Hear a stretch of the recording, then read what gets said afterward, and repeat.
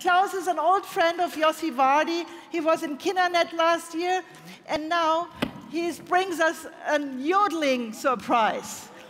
and by the way, before we start, all, all, friends who want to see the session memories are made of these, which is really good session, should now go to the little hut downstairs. So, Klaus, what brings you here? Uh, I was in, in, Israel last March with you. I was in Kinnernet, Bartildi with Steffi, and a very surprising place. I was very delighted and I had uh, the task to talk over Jodler. And I had some pupils and we learned, uh, we, I had seven pupils and we learned a Jodler to sing in two or three voices. And so uh, Steffi asked me whether I could come today, and I asked two friends of Salzburg, and we are singing you some Jodler from Bavarian, from the connection Bavaria and Salzburg.